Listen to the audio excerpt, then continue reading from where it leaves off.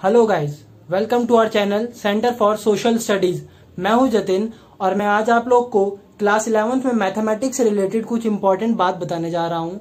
इसमें हम लोग एक बुक का डिस्कशन करेंगे, जिसको आप सप्लीमेंट्री के तौर पर यूज़ कर सकते हैं।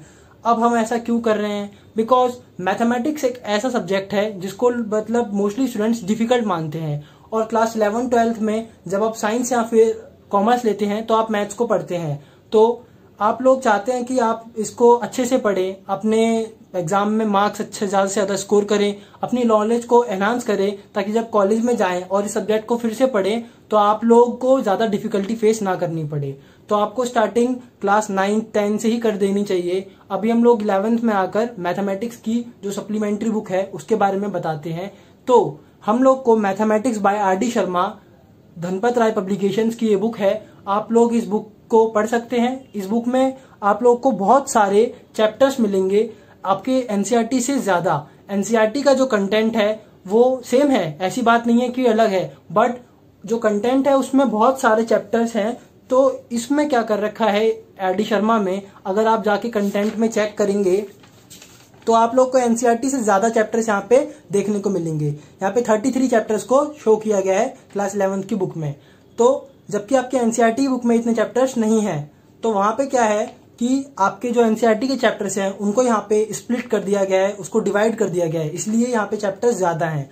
और आपको किसी भी बुक में इसके जितने एग्जाम्पल्स नहीं मिलेंगे ना एग्जाम्पल्स मिलेंगे ना ही इसके इतना बेटर कंटेंट मिलेगा। बट अभी भी यही कहूँगा NCERT is the first priority then आप इसको जा सकते हैं अगर आप लोग अपनी नॉलेज को ज़्यादा से ज़्यादा एनहांस करना चाहते हैं और मार्क्स स्कोर करना चाहते हैं। सो so, ये बुक थोड़ी सी ज़्यादा मतलब 33 चैप्टर्स होने के कारण बड़ी है, इसलिए मैंने इसको दो पार्ट्स में डिवाइड कर लिया है मैथमेटिक्स को दो पार्ट में।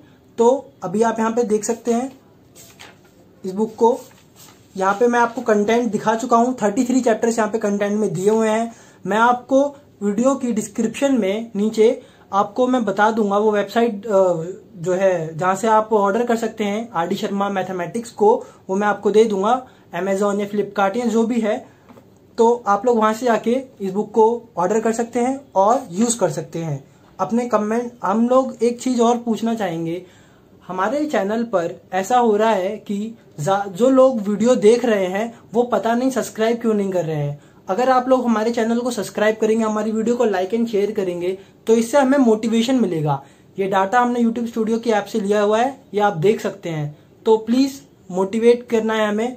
प्लीज़ हमें हेल्प कीजिए और हमारे चैनल को सब्सक्राइब कीजिए। अब हम वापस अपनी वीडियो पे आते हैं, जहाँ पे हम आर डी शर्मा का ज़िक्र कर रहे थे। तो यहाँ पर मैंने जैसा आपको कहा, आपको इसके जितने एग्जाम्पल्स किसी भी अदर बुक में नहीं मिलेंगे मैथ्स की सप्लीमेंट्री के लिए। So please go through this book mathematics by R D Sharma और अपने कमेंट्स अपने मतलब जो भी रिव्यूज़ हैं, आप कमेंट सेक्शन में दे सकते हैं। प्लीज़ वीडियो को लाइक कीजिए, शेयर कीजिए और हमारे चैनल को सब्सक्राइब करना ना भूलिए। Thank you.